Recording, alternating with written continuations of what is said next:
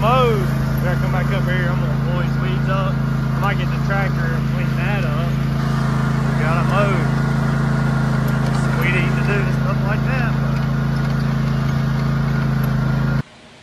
All right, well, we made it to the garage finally. Um, I know y'all don't know because it's still daylight and of course YouTube. So anyway, it's uh probably about 7:30 in the evening, something like that. But we're going to try to get this thing finished up.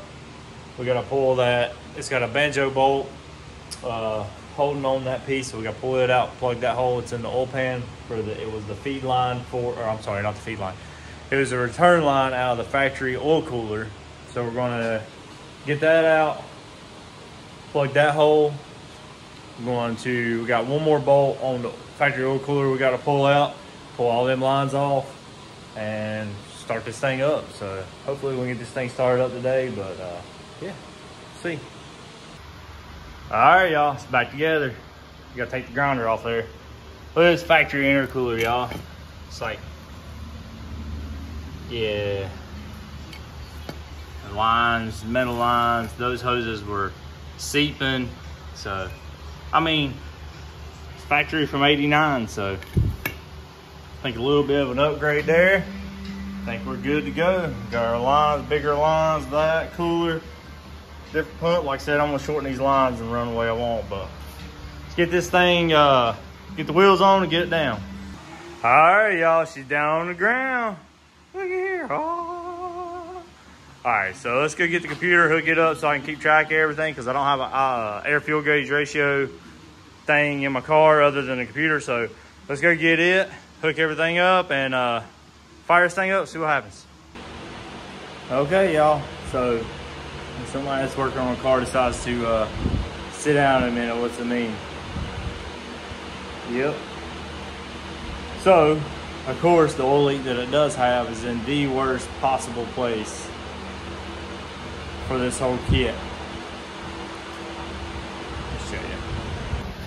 So for some reason, that sandwich plate back there is leaking. I don't know if the oil seal didn't get on it good or, or what. So I gotta take all this back off. I'm hoping I don't have to take the manifold back off, but I'm probably gonna have to.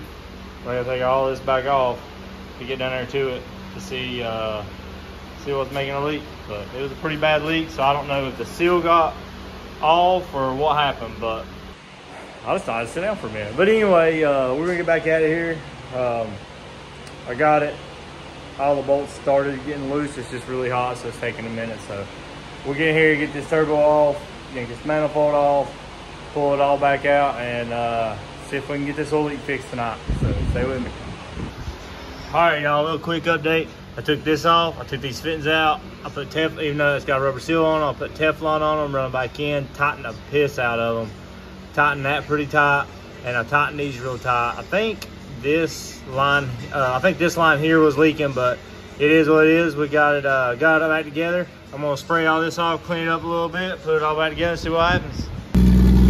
All right, y'all, it's running. No oil leak down there. Good to go. Turbo's spinning good. Seems to be doing good. Y'all see nothing? Y'all see anything? Can't take it out and drive it tonight because it's late. I don't know. Well, I ain't got no headlights or I would. So, there y'all.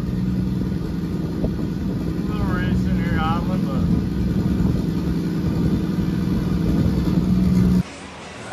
Y'all. Well, that's gonna be it for this one. So, turn this off. All right, so just to recap, we got in here, finished taking the uh, oil cooler off of the uh, the car, the stock oil cooler. Got everything off it, got that hose clamp shut, sealed off, put it back on. It's a metal hose, y'all. I clamped it, sealed it. It's good to go. It ain't leaking. Then, as you see in the video, the uh, I don't know if what was leaking. That thing, I should have took a video when I had it apart. But it, it goes onto the box, got an O-ring on it, and an inner O-ring, but I didn't think the inner O-ring was big enough to catch, so I left it out. I went ahead and re-looked at it, and it does actually hit, so I went ahead and put both O-rings back in it. And then, um, I know I ain't looking at the camera, I'm looking here, I'll at this way, that way I can look at the car. Because I think better when I'm looking at the car. So anyway, I put that back on. I also, uh, put uh, kind of like Teflon tape on the on the threads of the pieces that go into that that the AN fittings go on and I tightened them really good. I had O-ring seals so I didn't figure I needed to tighten them like super tight but I went ahead and done it this time because I think that might have been where it was leaking at and then I tighten the AN fittings up put everything back together and as you seen you know just shortly earlier shortly earlier just a little earlier in this video it is running. It's running great. Sounds better. It, has got more of a, a, I think it's got more of a deeper tone. I don't know. Maybe, maybe not. It did have a lot of exhaust leaks, so I don't know. It sounds good. Uh, the air fuel, you know, with all the exhaust, exhaust leaks, of course, the air fuel wasn't reading right. Um, so I got it adjusted on idle, and it's idling really well.